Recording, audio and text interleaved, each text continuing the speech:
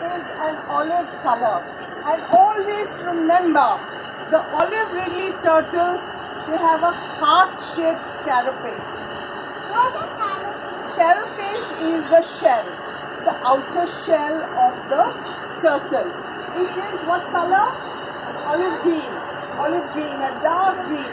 That's why they are called olive ridley turtles. Okay, so she decided that she didn't want to swim. The water was too swift, the current was too strong, and she had eaten some algae, kelp, and what else? Jellyfish, and she wanted to rest. The sun was shining and soon she was asleep. Donna woke up and decided to resume her journey. She had a long way to go before she could reach the Indian Ocean. Now, which are the other oceans she crossed?